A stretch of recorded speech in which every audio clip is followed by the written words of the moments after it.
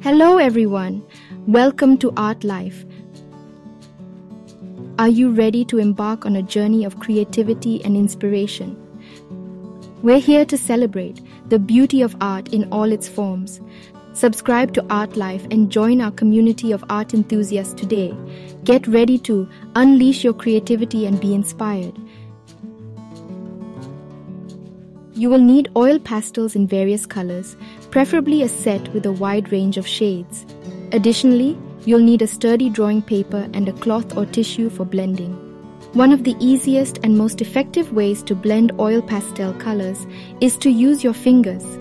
Gently rub or smudge the overlapped areas where the colors meet. The heat from your fingers will soften the oil pastels, allowing them to blend together. Begin by selecting the colors you want to use for the sky and apply them lightly to the upper portion of your paper. Blend the colors using your fingers or a cloth to create a smooth transition between shades.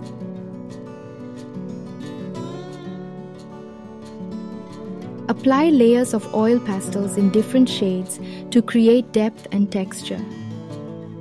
Use lighter shades for distant objects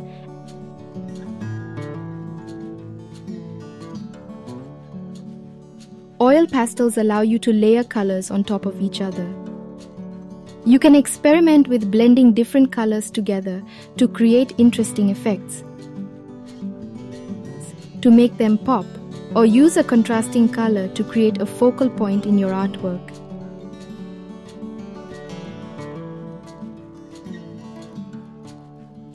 The foreground usually consists of objects that are closer to the viewer.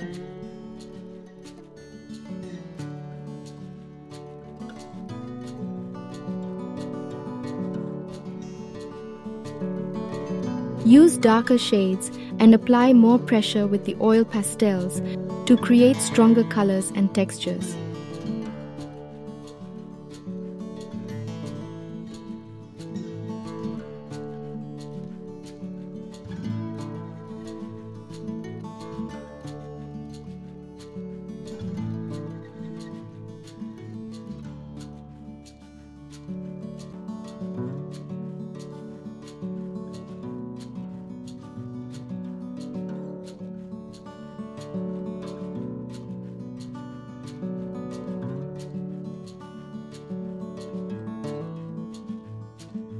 You can use different strokes and techniques to represent various textures, such as trees, rocks,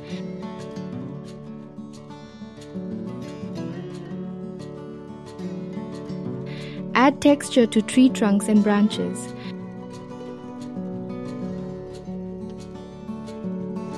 such as short strokes for grass or circular motions for foliage. Once you've established the basic elements of your landscape, you can add finer details to enhance the overall look.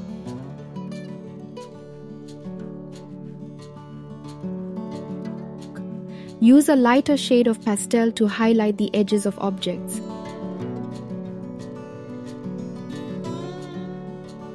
Softly blend the highlights for a more natural appearance.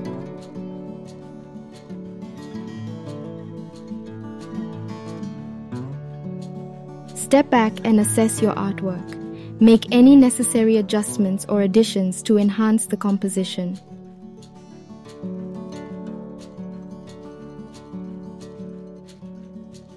Once you're satisfied with the result, you can spray a fixative over the artwork to protect it and prevent smudging.